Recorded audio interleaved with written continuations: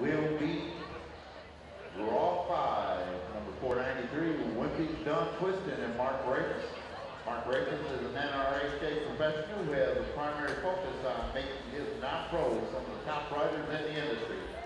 Mark has coached multiple world champions and over 15 Congress champions and has coached his non-pros security wins on horses trained through his program. Mark has two reserve world championships and won the 2013 All-American Quarter Horse Congress.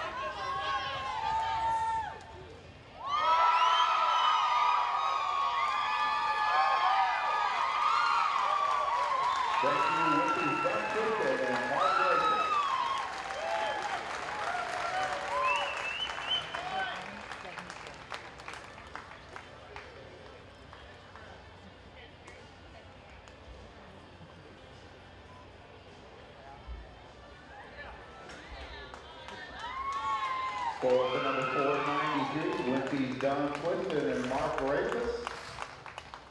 Two, twenty-five.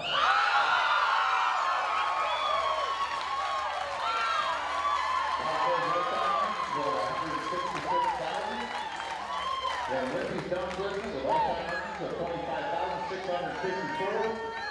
Followed by Wimpy's Little Step out of the Dan Public Don Twisted.